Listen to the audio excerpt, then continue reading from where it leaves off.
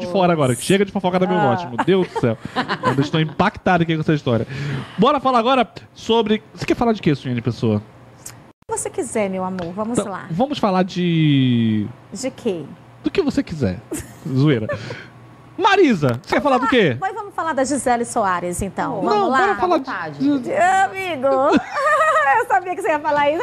O bichinho tava chorando na internet. Vamos dar esse Oi, Gi! ela. Tudo bem, Gisele? Ela, sempre gosta assiste o programa. você, É, eu sei. De mim também, sempre Maravilhoso. elogia. A gente fala até mal dela às vezes aqui, mas ela mesmo Não, assim peraí, gosta peraí, da peraí. gente. Não. Não, a gente dá a notícia, né? Exatamente. A gente dá A gente- notícia. as pessoas têm os defeitos, a gente As só pessoas, comenta. É, que comenta. E a gente é jornalista, tem que levar a notícia. É isso. E o que, que aconteceu? Gisele Soares teve o carro dela destruído aí, foi assaltada em São Paulo e apareceu nas redes sociais aos prantos, tá? A Gisele, né, que é a nossa cajuína, já participou do Big Brother, vice-campeã do Big Brother Brasil e também já participou de vários outros realities aí na TV, inclusive agora do último Ilha. E aí a gente vai conferir agora o depoimento da Gisele, chorando aí aos prantos, falando e relatando sobre acontecer- o que, o que- o que aconteceu. Ela aproveitou, inclusive, nesse vídeo, né, nesse relato dela, para fazer um alerta a todos os moradores de lá. Vamos acompanhar.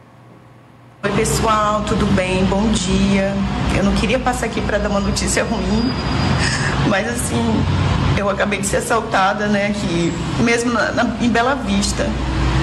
Quebraram meu vidro, tentaram pegar minha bolsa, meus, meus telefones, desculpa, eu tô um pouco nervosa, meu telefone. Graças a Deus nada aconteceu comigo.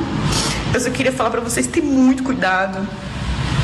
Eu não consegui colocar é, o, vidro para não ver, né? Meu vidro estava transparente, então como meu carro é um pouquinho baixo, é pequenininho, todo mundo vê. Então ele sai, eu estava no sinal e do lado tinha uma praça mais bem distante, então ele sai do nada e quebra o seu carro.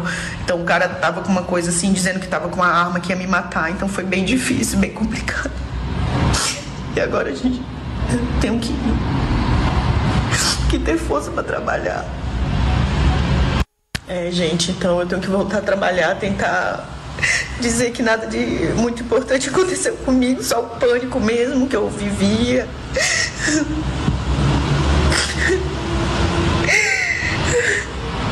Eu só tô mandando passei sítios por. Desculpa, eu falei, tô tão nervosa. Pra vocês terem muito cuidado, muito cuidado em São Paulo, tá muito perigoso. Pra vocês terem muito cuidado.